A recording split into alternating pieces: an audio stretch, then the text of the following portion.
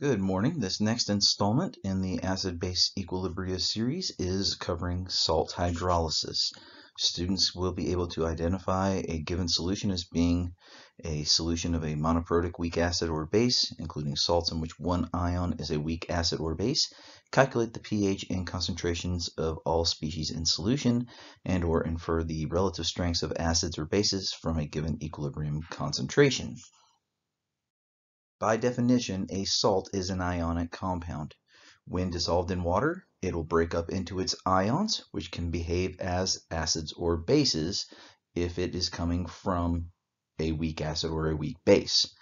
You can imagine that the salt being formed from the neutralization reaction between the acid and a base. So we have in our system any acid, HA, reacting with any base, BOH, producing a salt, which would be Ba, the metal cation from the base with the anion coming from the acid.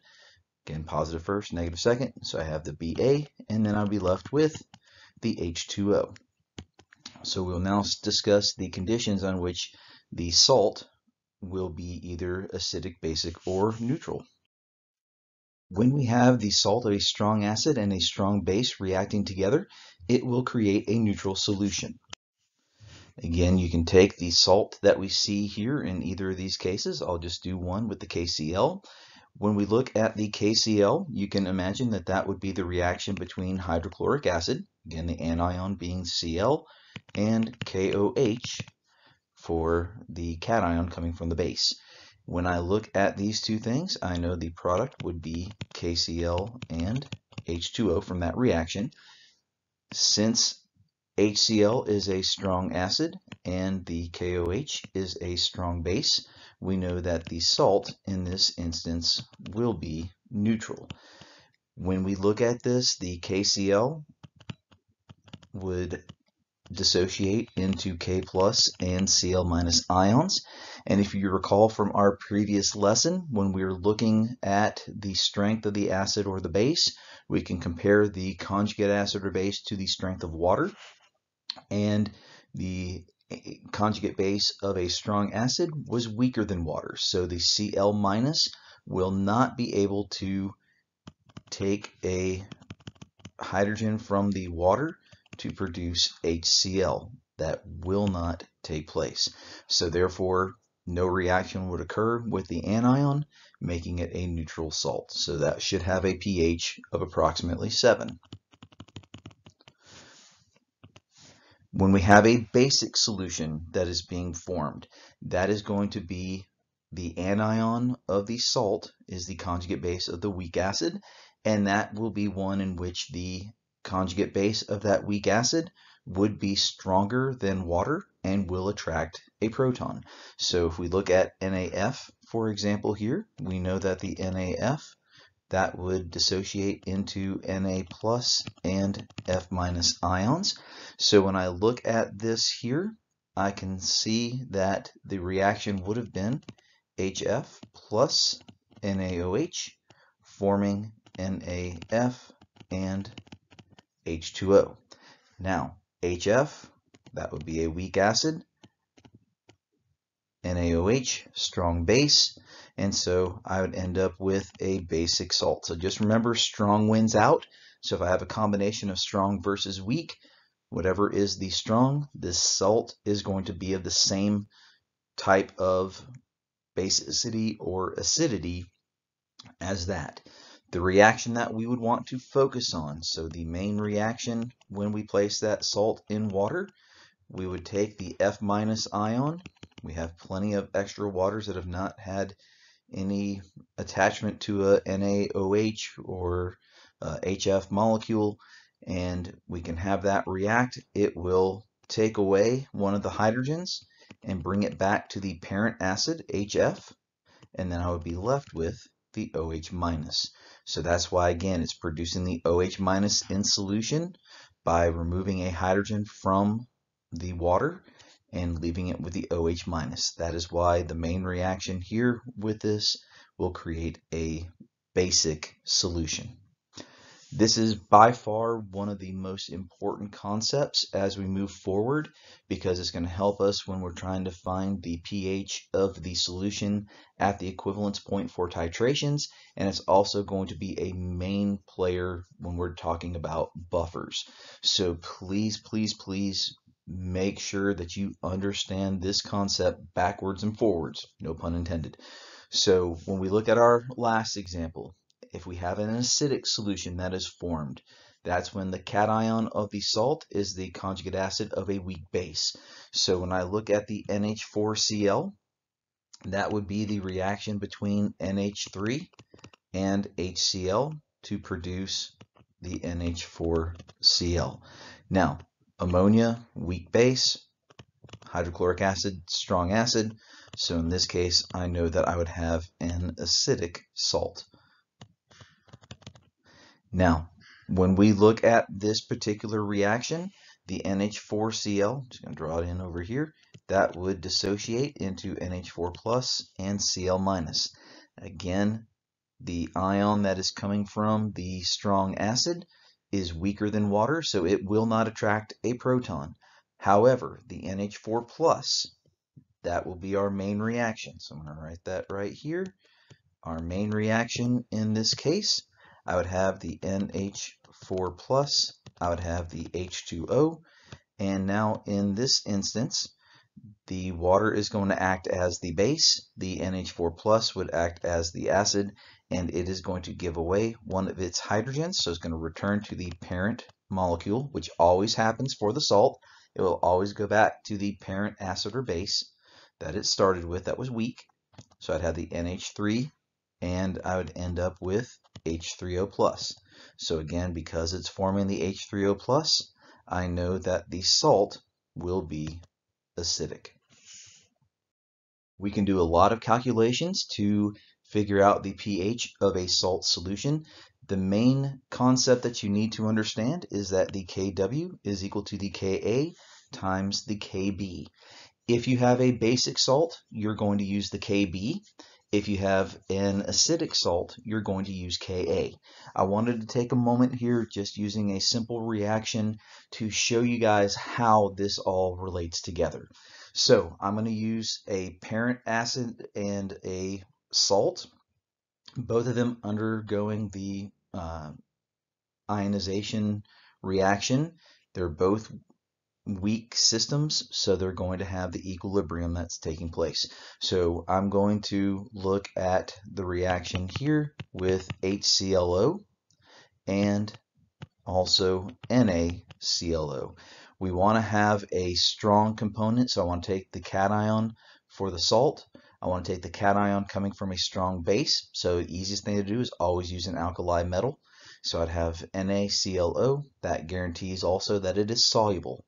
So when I look at the reactions here, so for the HClO going into water, that would form H3O plus and the ClO minus ions. And when I look at the NaClO, the first thing I want to do is look at its ionization. So I'd have the NaClO. It would dissociate into Na plus and ClO minus ions. Once again, the Na plus being that strong base uh, cation, it will not react with any water molecules to form NaOH.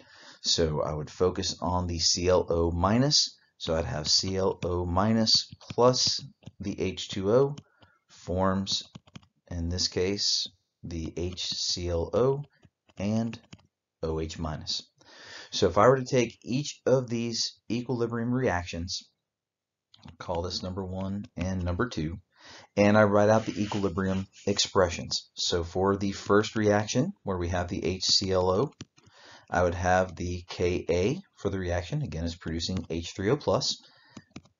That Ka would be equal to the H3O plus concentration times the ClO minus concentration divided by the HClO concentration. Now, when we look at the second expression, the one where we're using the ClO minus ion from the salt, Notice now it's producing OH, so I'm going to use the KB. And I would have for that reaction HClO concentration times OH minus divided by the ClO minus concentration. Now, here's where this relationship up top comes into play. Because I have the Kw equaling Ka times Kb, and I have this as my equivalent for Ka, and this as my equivalent for Kb, I'm going to substitute those into that expression. So I have the Kw would equal the concentration of H3O plus times the ClO minus over the HClO. Again, that referencing the Ka part. And I'm going to multiply that times the Kb, which we said was the HClO times the OH minus divided by the ClO minus, that being the Kb. So when I multiply those two things together, I hope you notice one key thing. I have ClO minus in the numerator, ClO minus in the denominator. Those will cancel. HClO numerator, HClO denominator. They cancel. Now, if you think about our original Kw expression, we had H3O plus times OH minus equaling the Kw. Well, notice what we have right here. H3O plus, OH minus, nothing else. So when we look at that, I'm going to cross those out with a different color so you guys see that. So that's where our relationship comes from. So it makes it really easy when we want to figure out what the KB would be for a particular salt. So for instance, if we would look at the HClO Ka, the Ka for HClO is somewhere approximately around like 3 times 10 to the negative 8th power. So if I want to solve for the Kb for the ClO minus, I would just simply take the Kw and divide it by the Ka. So I'd have 1 times 10 to the negative 14th divided by 3 times 10 to the negative 8th. And when we do that, we end up with approximately 3.3 times 10 to the negative 7th. And that would equal the KB. So that would be the starting value that I would put in to my expression over here. So let's just do a quick summary of the salt hydrolysis types. Part of it is just simply being able to recognize a salt as being acidic, basic, or neutral. And then you have other problems where you have to actually go through and do the math to calculate concentrations and pH a lot of your multiple choice questions on the AP exam covering this concept will just be to identify whether or not the salt is basic, acidic, or neutral. So if we have a cation, again, that part is coming from, we'll call that the parent base, and then the anion is coming from the parent acid. So we want to just simply be thinking about those things in terms of whether the parent acid or base was strong or weak. So if I have a neutral solution, then that would mean that I would have again that strong base reacting with a strong acid, so I'd have a neutral salt. If I have again the neutral part, that would mean that it would be coming from a strong base. The conjugate base of a weak acid, obviously that tells me I have a weak acid. So strong base plus a weak acid means that I have a basic salt. So you can just simply look again at the two ions, determine what it's coming from by adding either the H plus to the anion or the OH minus to the base. If I have a conjugate acid of a weak base, then obviously that would be a weak base. Neutral, that would mean that it would be a strong acid, so I'd have an acidic solution. The last situation, which we haven't talked about, is one that we really don't get into very often, uh, where you have a conjugate acid of a weak base. So basically, I have a weak base plus a weak acid. And so in that situation, it could vary depending on what the values for the Ka and the Kb happen to be. So in this case here, where we say it depends on that Ka and Kb, whichever has the larger value, whichever K value is larger, that will determine whether it's acidic or basic.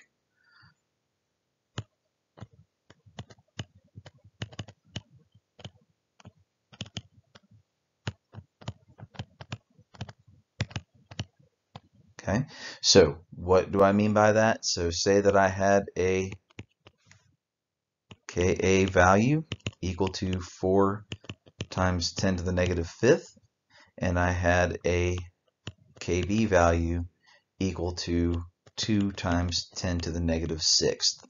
So in that case, because the Ka was 4 times 10 to the minus fifth, a larger value, that means that that salt would be acidic. So one other way that you could look at that is just from that qualitative prediction from the weak parents, again, that weak, weak situation. You can remember, we just got done saying that that Kw is equal to the Ka times the Kb. So just the same way how we looked at the concentration of H plus compared to OH minus to determine whether it was acidic or basic, we can do the same thing with the Ka and the Kb. If the Ka is greater than the Kb, then I have an acidic solution. If the Kb is greater than the Ka, then I have a basic solution. And in the rare instance where you have the Ka and the Kb being equal to each other, then the solution would be neutral. So an example I can give you for this would be if you had a salt sodium acetate. The Kb for NH3 is 1.8 times 10 to the negative fifth. The Ka for the acetic acid, HC2H3O2, it is also 1.8 times 10 to the negative fifth. So just one of those rare instances where the Ka and the Kb happen to match up, and so you'd end up with a neutral salt. Okay, so now let's actually determine the pH for a solution containing an anion. So we have sodium acetate, which is CH3COO-Na, or as an abbreviation you can use for acetate AC. So I have NaAC for this particular problem, has applications in photographic development and textile dyeing. What is the pH of a 0.25 molar NaAC solution? The Ka for acetic acid is 1.8 times 10 to the negative fifth. So the first thing that we want to do is set up the expression, and I'm just going to do it as the proper one to start off with. So I'd have that going into the water, place the water on top of the arrow.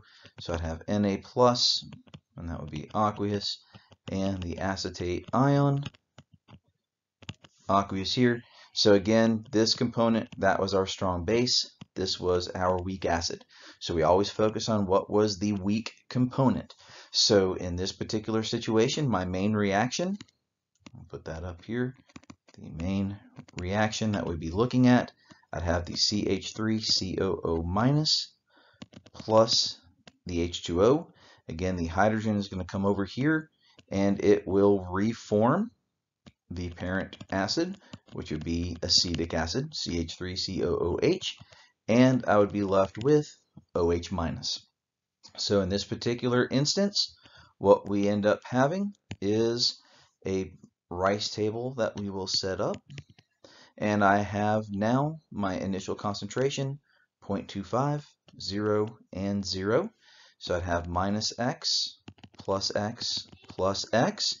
And as we go so at equilibrium, we would have 0.25 minus x, we would have x, and we would have x. Now, setting up my expression, I would have the Kb for the reaction will be equal to the acetic acid times the hydroxide ion divided by the acetate ion. And the only other thing that we need to do is calculate the value for Kb. So once again, we had Kw equals Ka times Kb.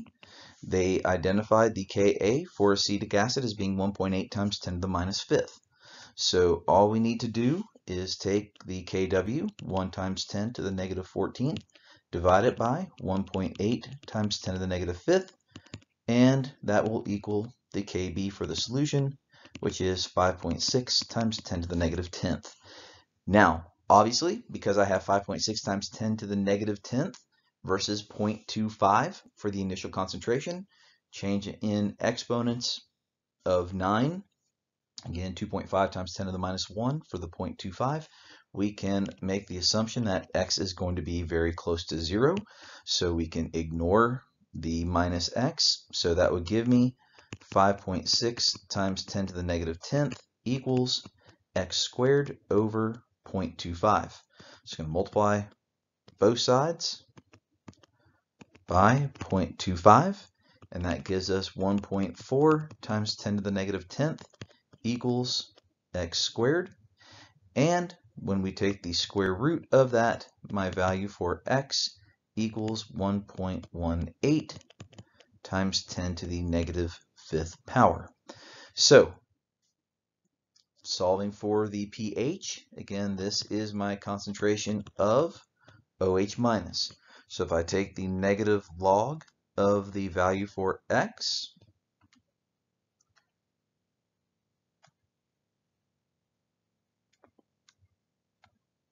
that will give us the POH, negative log of X which is the 1.18 times 10 to the minus fifth.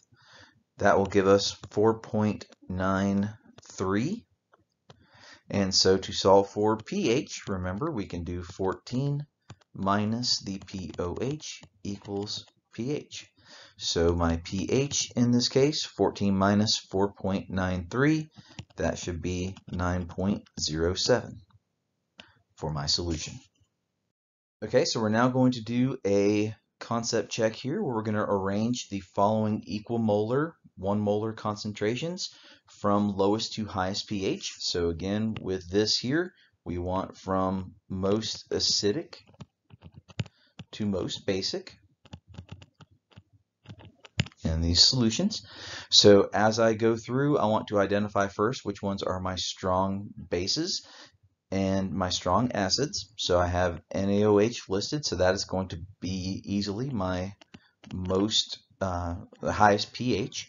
And I have HBr, that would be found as my only strong acid. So I know that's going to be my uh, most acidic. So I'm going to put that over here as most acidic and most, most basic. So I'll have the NaOH. And then from here, I have a second weak acid and a second weak base. So I know that those two would go next. So I'd have the HF and I would have the NH3. That would be here. And now I have a third weak acid, or third acid, excuse me, where I have the HCN. Now for this one, comparing HF to HCN, I would have to compare Ka values. So the Ka here is approximately 7 times 10 to the negative 4 versus the um, HCN, which is somewhere around 6 times 10 to the negative 10th. So obviously 7 times 10 to the negative 4th, a stronger acid, so I'd have the HCN here. So that now takes care of this, this, this, this, and this. So I have three salts that I have to take care of. So what I need to do again is identify whether the salt is acidic or neutral or basic. So for my first salt that we have, the NaCN, we know that for the NaCN, we have a strong base, the HCN obviously a weak acid, strong base, weak acid, I know that is going to be a basic salt. So I'm going to place the NaCN over here. The NaCl, Na from NaOH, Cl from the HCl, strong acid, strong base. So I know the NaCl would be a neutral salt. So I'll put that here. And then that leaves us with the NH4Cl. NH4 coming from ammonia, NH3, weak base, Cl coming from a strong acid, so that would be an acidic salt. So I'd have NH4Cl listed there. So the only thing that you would have to do for any of these, for the two weak acids, you would have to compare their different uh, Ka values in order to determine which one would be weaker. And if they gave you two weak bases, you would have to do the same thing. So now let's consider a 0.3 molar solution of NaF. The Ka for HF is 7.2 times 10 to the negative fourth. So the first thing, again, I want to write out my reaction. So I have the NaF that is going to go into water and I would have Na plus and F minus ions. This is a completely soluble salt because of the sodium being a alkali metal. So I know it will completely dissociate into Na plus and F minus ions. So the major species in that solution I would have would be Na plus, I would have F minus, and I would have H2O. Now, the NaF, why would that not be considered a major species? because again it is completely soluble.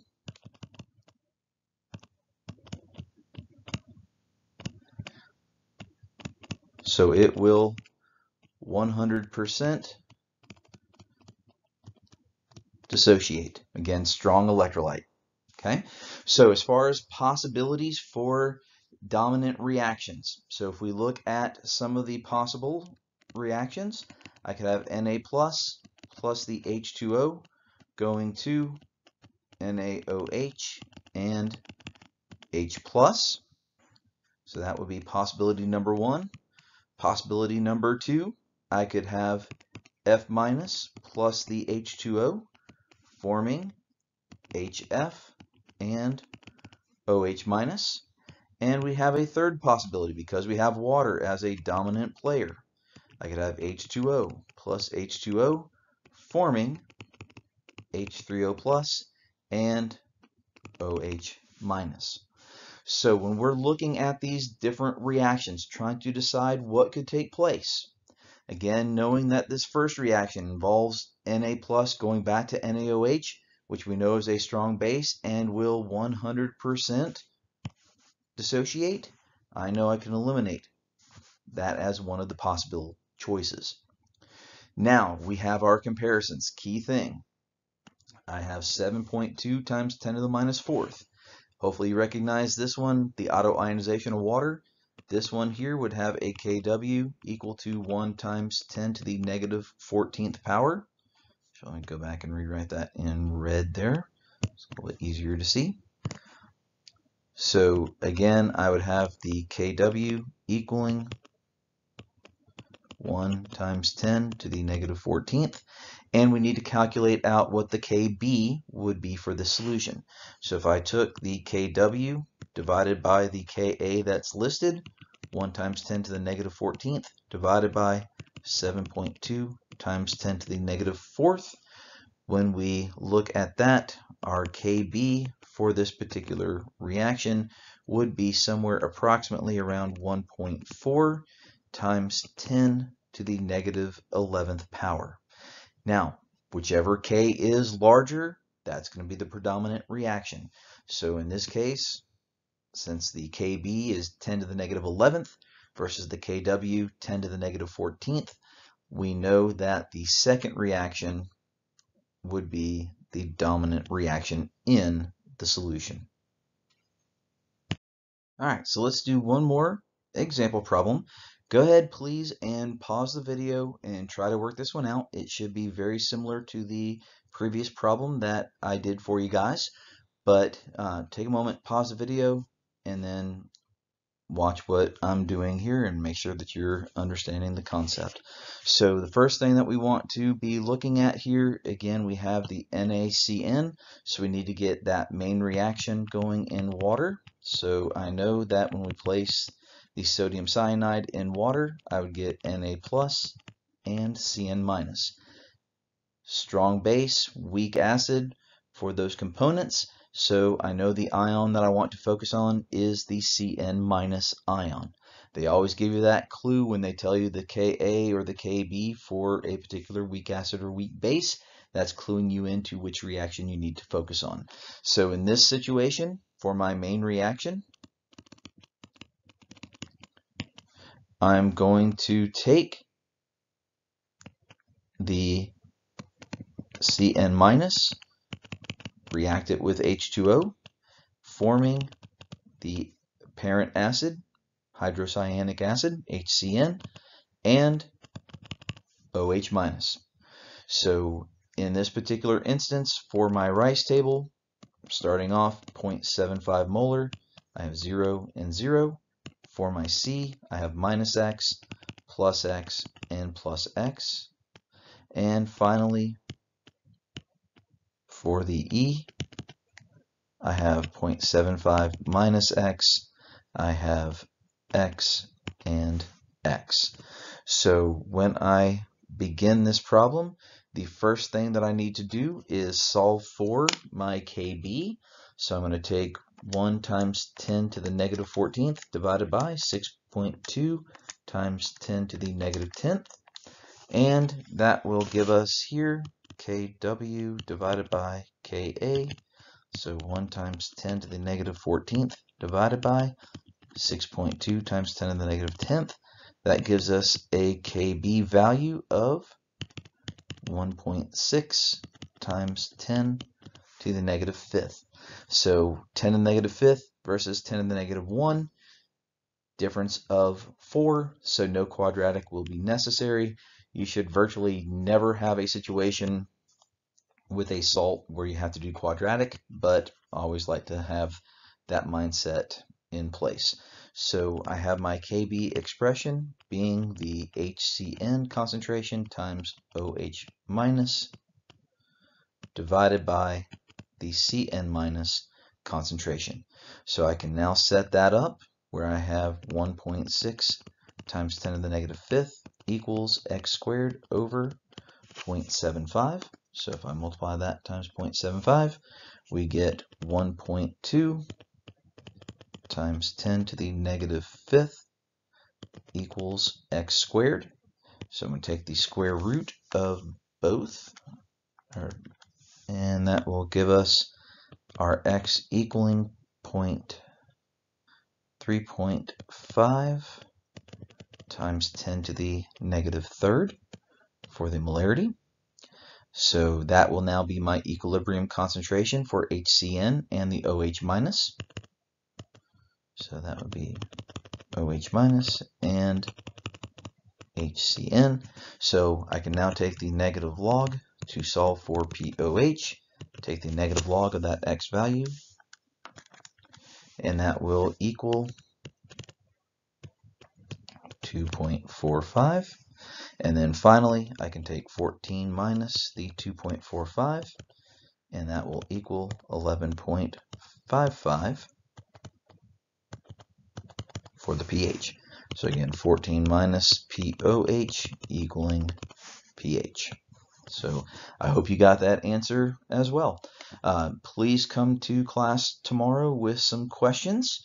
Um, we'll do a little bit more practice with this stuff and we will um, do a salt hydrolysis lab um, in the next couple of days. So um, again, if you have any other questions, please let me know. And uh, the last thing we'll have to do will be some work on titrations.